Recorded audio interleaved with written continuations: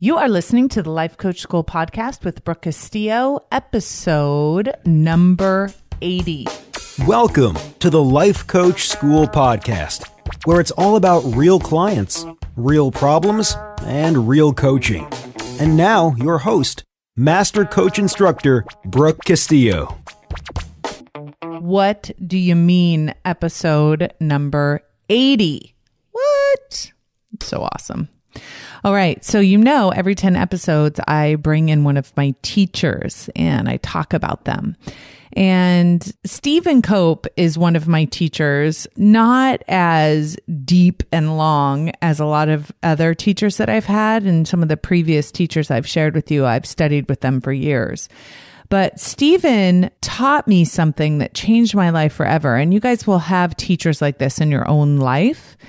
And they'll say one thing that will change your life forever. And it may be something you read in a book or something they say to you or something a coach says to you that changes everything. Um, I just had one of my students write a blog post and she said that one of the things that I had said to her changed everything for her. And when I was coaching her, on weight loss and she was talking about food choices, one of the questions I asked her is, Does it feel like love? When you're making decisions, you can ask yourself, which choice most feels like love? And it was just one question that I asked her. And, you know, who knew that that would be the most impactful question I could ask her out of the hundreds of questions that I probably asked her. Well, Stephen, I read his book. First of all, if you guys don't know this about me, I love yoga. I am obsessed with yoga. I like hot yoga. The hotter, the better. And I love working out, hardcore hot yoga, really intense vinyasa. That's like my favorite. And so, about three years ago, a friend of mine and I agreed that we would do yoga for every day for a year. And we were both like so excited about it. And we really did a lot of yoga.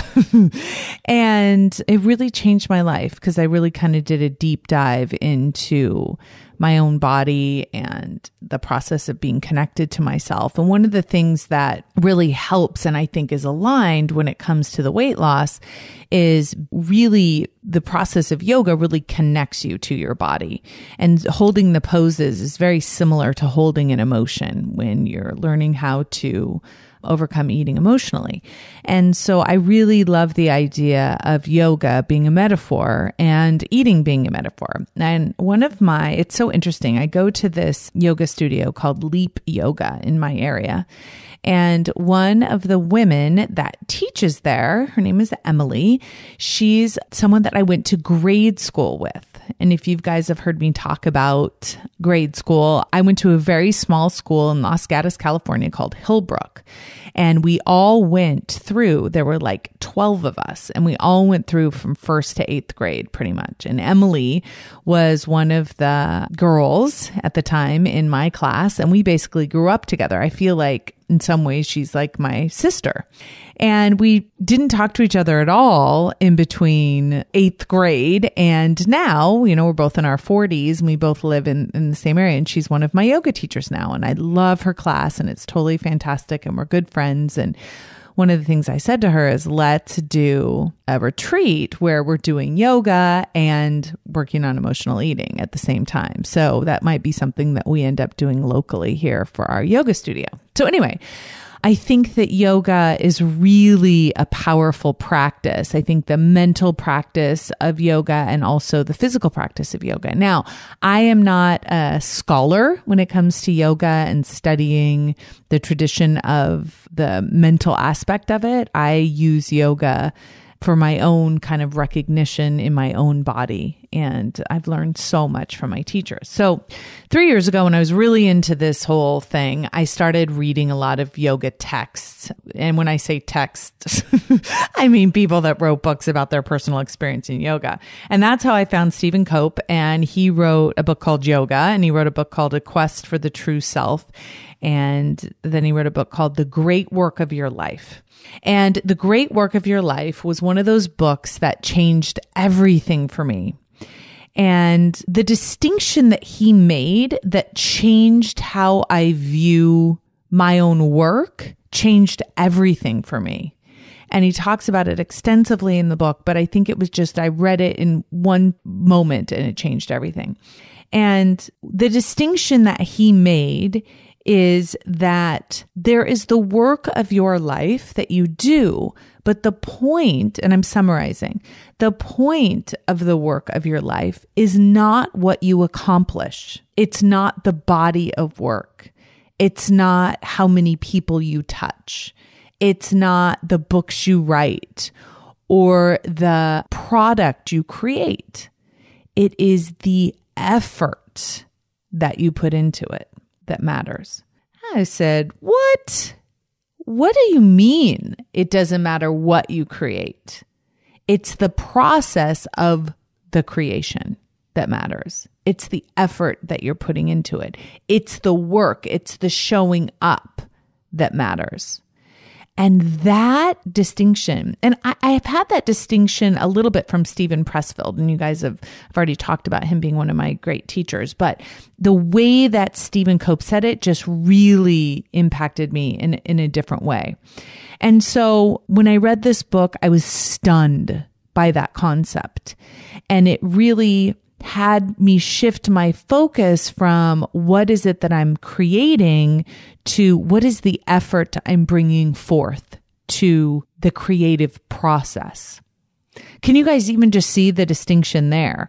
The difference between creating something for the end product and the process being the practice of creating.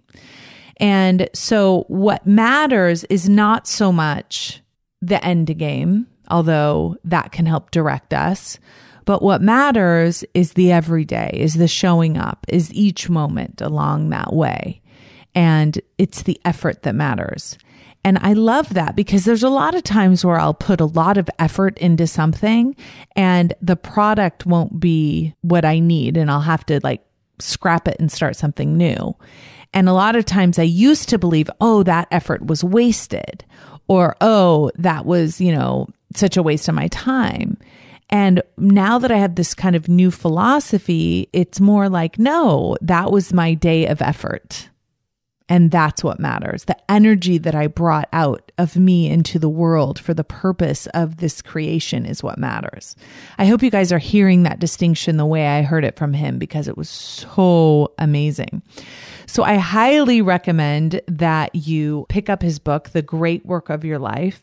It's really an allegory that he's evaluating and it's a lot of his yogic teachers and Krishna. And, you know, I won't go too deeply into the book. You can, you can grab it. What I have done is taken the teachings from the book and from Stephen that really had the most impact on me.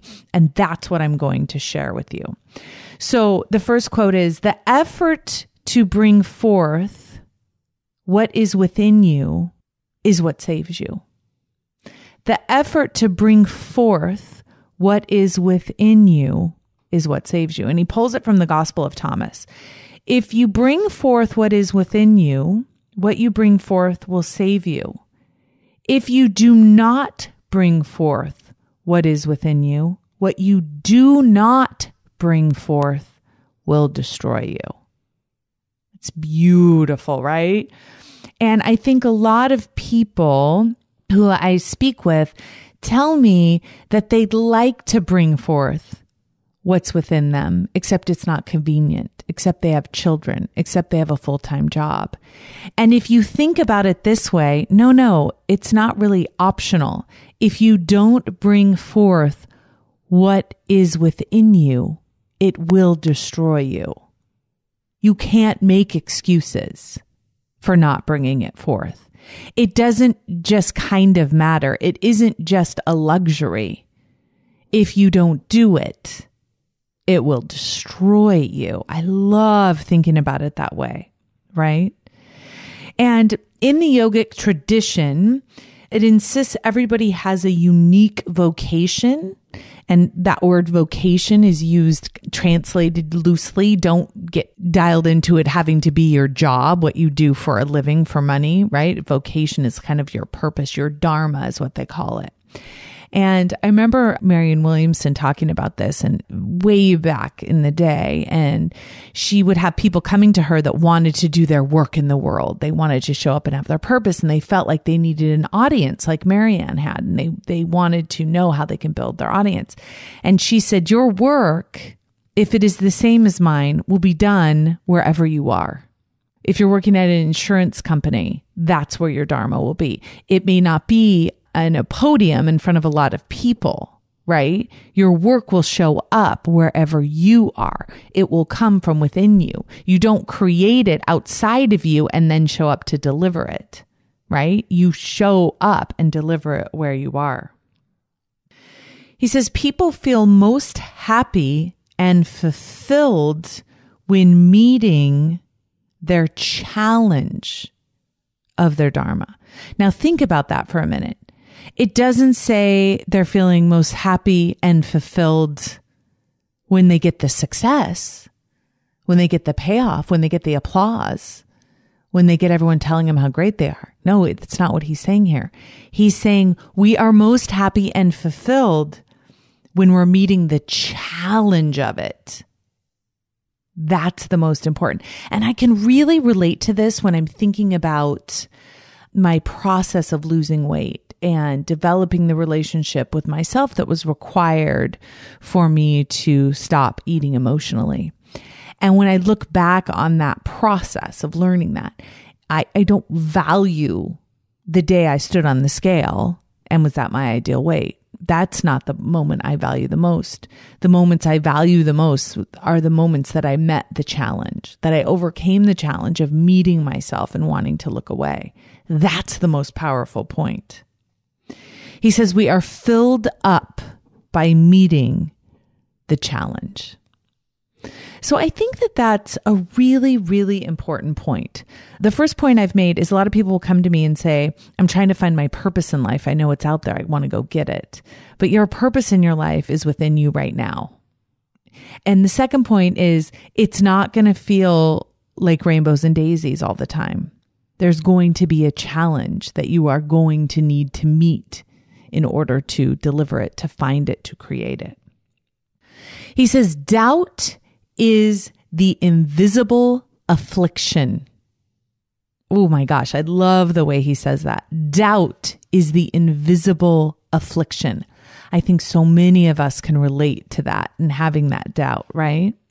He quotes Krishna saying, Inaction is full of action. We are always taking action. So when you are not taking action, he says inaction is full of it.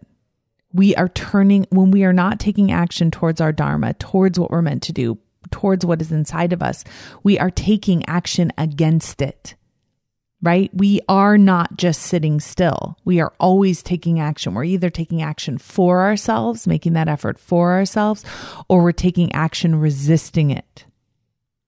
There is a certain action that leads us towards our fulfillment. It is the action to fulfill our calling.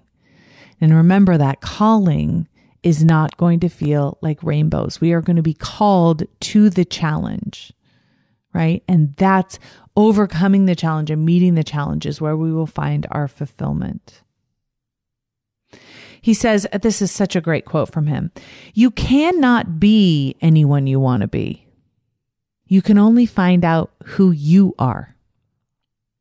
So I think people that are well intended will say you can be anyone you want but you can't be anyone you want. You can only be you. And I think a lot of us want to be like someone else, right? But you can't be like someone else. You can only be you. It is your only option. So how do you be you is you fulfill that calling. You overcome the doubt. You meet the challenge. Not having the desire within yourself to work for the world is the silent tragedy of self betrayal. And what he means by that is your work in the world is to bring forth what is within you to meet that challenge. And a lot of us live our lives based on what we think other people want. what our parents want, what our kids want, what our husband wants, what our wife wants, right? He says, at a certain age, it finally dawns on us that no one really cares what we're doing with our life. If you live someone else's dream, it can't ever benefit you or them. So if someone has a dream for you, your parent wants you to be a doctor or a lawyer, your husband wants you to be a stay at home mom or wants you to work full time, whatever it is, you can't live out a dream for someone else and have it benefit them. It the world doesn't work that way. You can only fulfill your own desire. You can't fulfill desire for someone else. Failure is a part of all Dharma stories. Failure is a part of all Dharma stories. We only know who we are by trying on various versions of ourselves and failing at them. I think so many of us look at us trying on those different versions of ourselves and failing, meaning something has gone wrong. And what he's saying is no, that is the process. That is how we find out who we really are right? Isn't that such great news? we don't have to look at all those failures as, oh gosh, I really didn't know what I was doing. No, it was all part of the process. Every single one of those quote unquote failures were you finding out who you are. Whether it's a failed relationship or a failed job or failed business, whatever it is, it's all part of you finding out who you are. Ambivalence, it turns out, is an unavoidable companion for Dharma, for fulfilling your purpose, for doing your work in the world. Ambivalence, it turns out, is an unavoidable companion. So that second guessing, that questioning, that not being sure, that doubt is all a part of it. Success and failure, now he's quoting Krishna here. Success and failure are not your concern. Your task is to bring as much life force as you can muster to the execution of your work. This is the part that just like makes my mind explode. Success and failure are not your concern.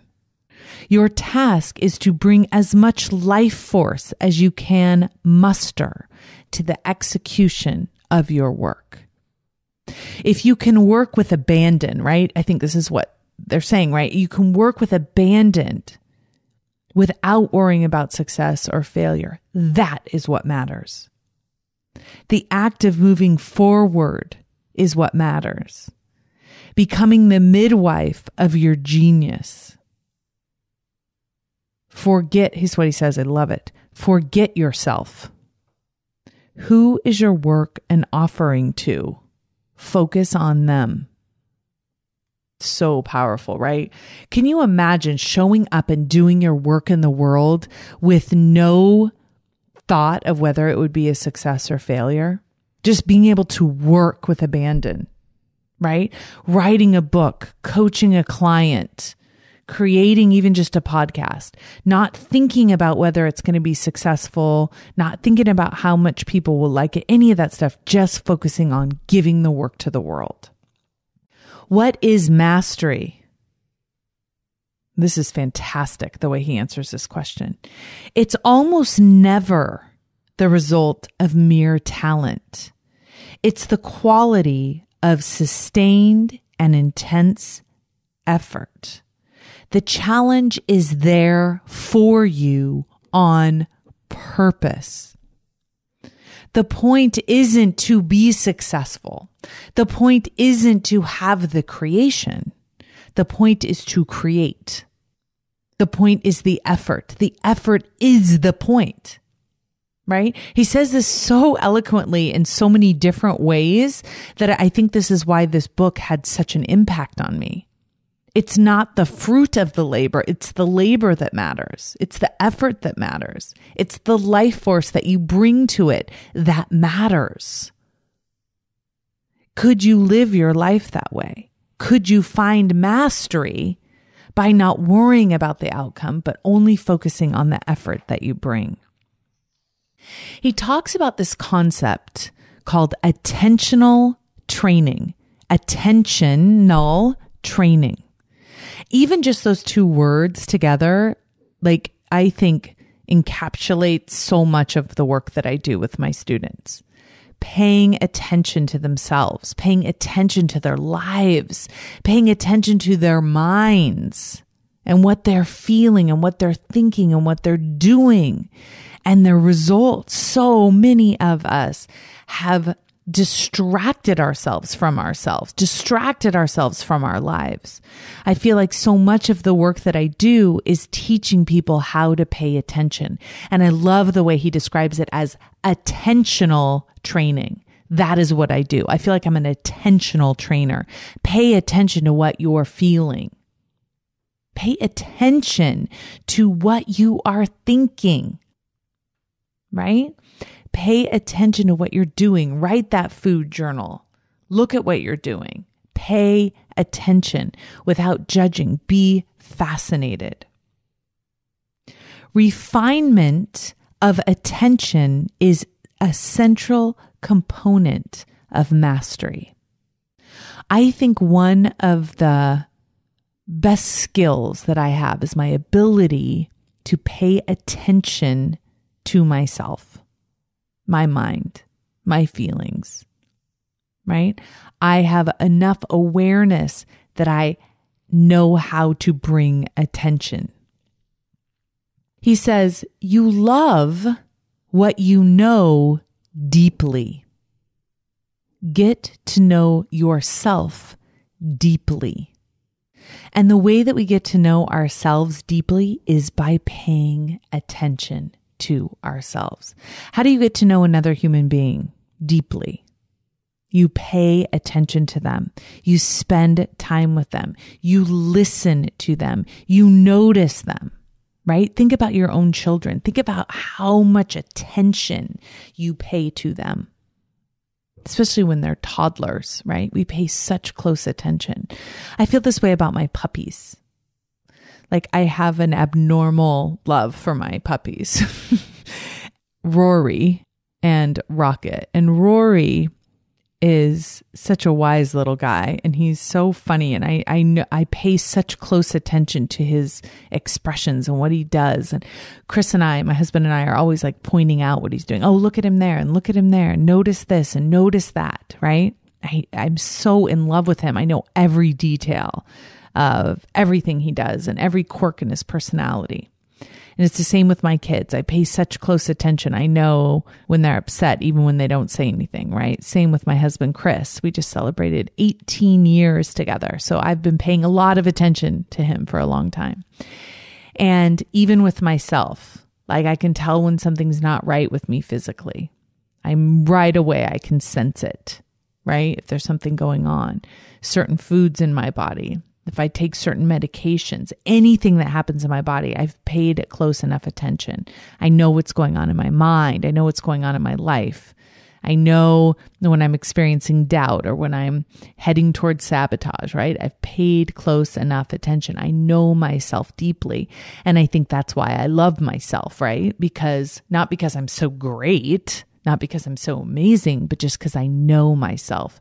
And think about the things that you love deeply right? I think the way he says this is so clarifying, right? You think about, I, I don't love Rory and Rocket because they're such amazing dogs and they're so much more successful and better than everyone else. No, I love them because I have paid such close attention to them that I see them in all of their ness, right? And I'm able to appreciate it in such a deep way. It's kind of like if you meditate on a certain object for long enough, right? That's how you develop mastery by paying close attention to it. He talks about this idea of vain anxiety, which I love, right? Vain, V A I N, anxiety. And he calls that the anxiety of asking yourself, what will they think? What will they think of me? And he talks about that being such a huge interferer with doing our Dharma, with creating our work in the world. Because we adjust based on what we think other people will think because we think what other people think about us matters. But the only reason it matters is because what we think about what they think, right? Vain anxiety, such a great way of talking about it. He also talks about the concept of the pain of pain, right? It's kind of like the fear of fear, the pain of pain. There's genuine pain that's a part of life. And then there's suffering that we heap on top of pain, right? There's physical pain and then there's the emotional pain we add to it. And the way that he describes it, he says the aversion to pain is what adds suffering. I really like his solution for it too. When difficulty arises, give yourself to it. Go into the heart of the difficulty. Do not declare war on it, but go into it. I love it, right? It's like instead of resisting it, instead of thinking there shouldn't be a challenge or it shouldn't be hard, you go into it and you give yourself to it. This concept that I think is so amazing. I was looking when I was preparing for this podcast, I found it in the book and I had underlined it and starred it and wrote amazing on the page. This is what it says. You cannot choose life without also choosing death. There is no life without death, right? It doesn't exist, life without death. And I think that is on the largest scale, if we're choosing to live, we're also choosing death, right? It's part of it. But I think on a smaller scale, when we choose to do our work in the world, we're also choosing the challenge. We're also choosing the difficulty. And if we can see that we're choosing it and we can consciously pay attention and give ourselves to it, we will have a much deeper experience of living our purpose, of living our Dharma, of doing our work in the world than if we constantly try to resist or avoid any kind of challenge. Difficulties are an opportunity for evolution.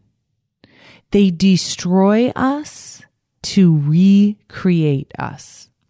And I think after I read this book was when I really got into my mind that I wanted to evolve. I wanted to keep evolving into a deeper, richer experience of myself.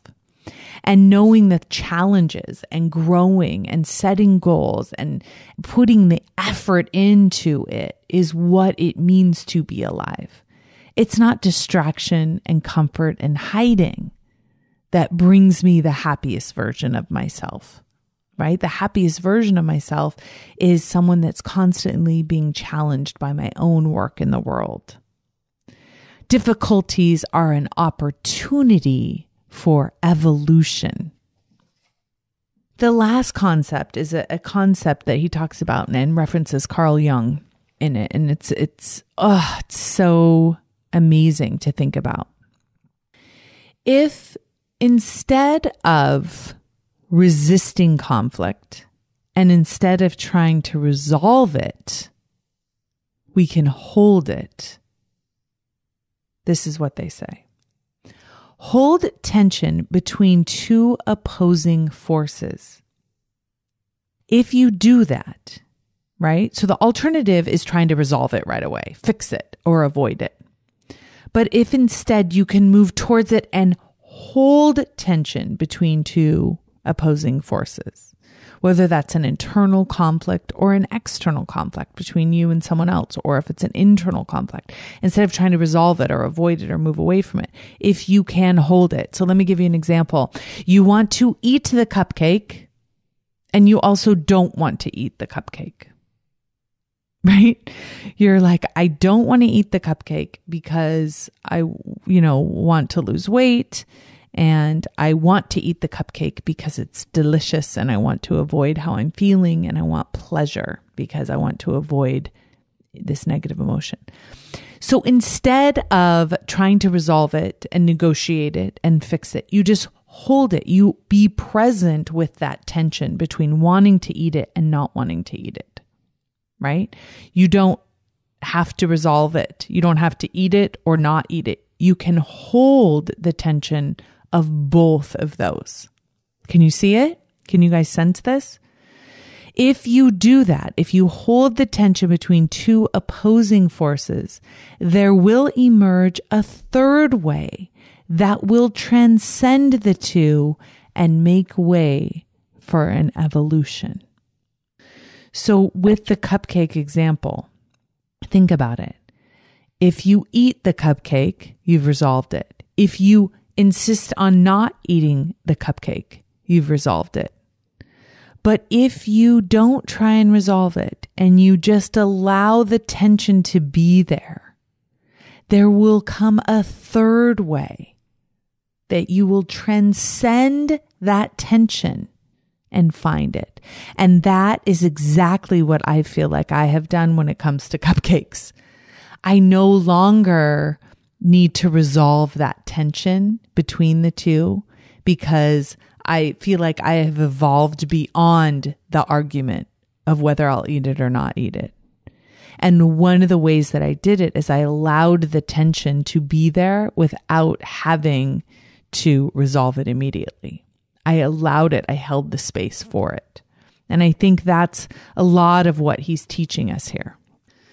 Now, I pulled out some notes. It's so interesting. So, when I was preparing, I went through the whole book and, and looked through all of my underlined notes that I had in the book. When I read a book, a hardcover book, which is the one I have here, I go through and I write in the book and I underline and I star and I circle. And when I go back through, I love reading what I've pulled out.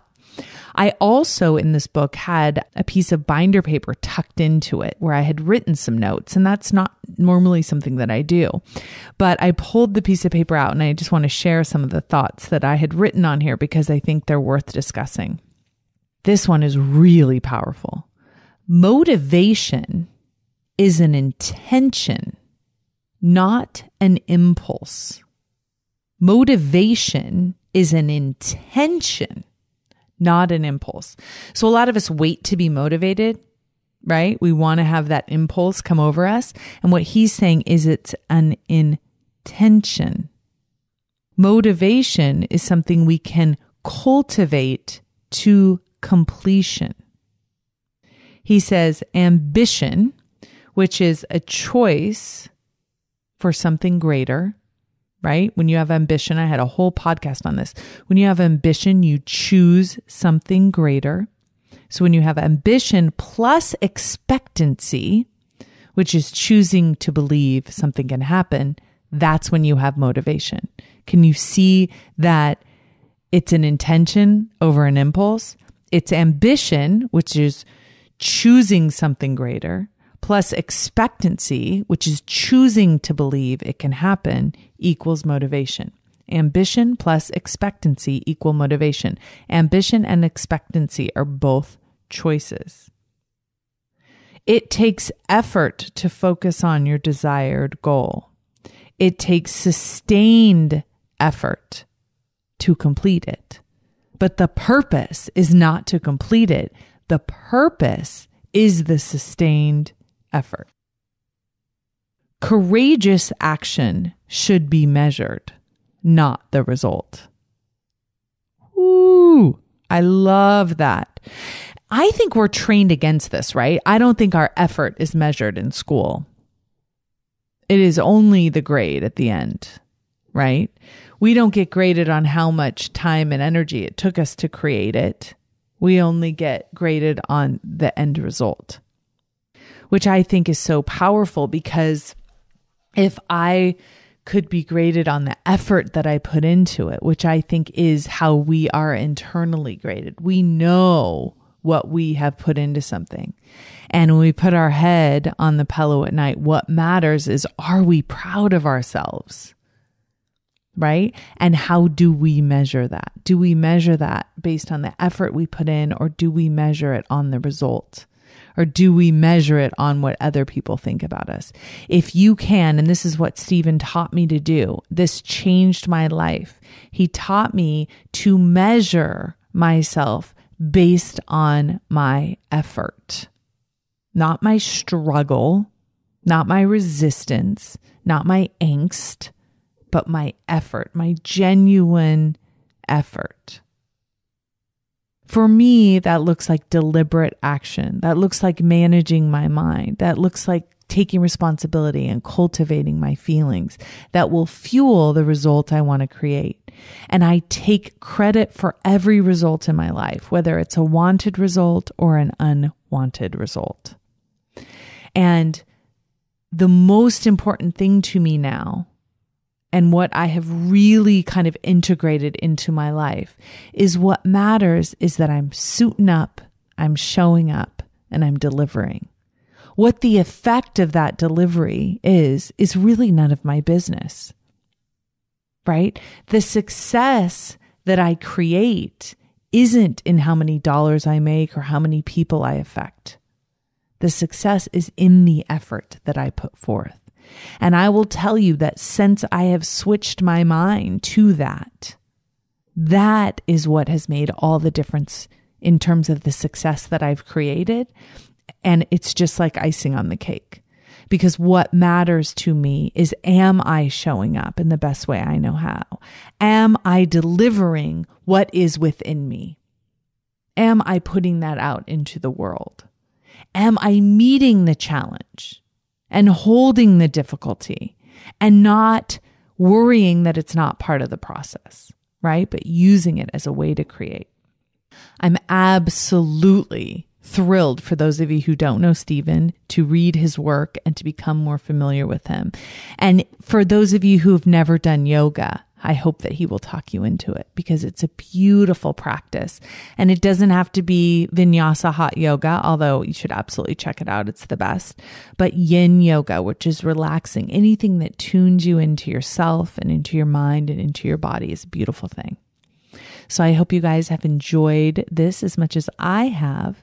And I will talk to you all next week. Have a beautiful week, everybody. Bye bye. Thank you for listening to the Life Coach School podcast. It would be incredibly awesome if you would take a moment to write a quick review on iTunes. For any questions, comments, or coaching issues you would like to hear on the show, please visit us at www.thelifecoachschool.com.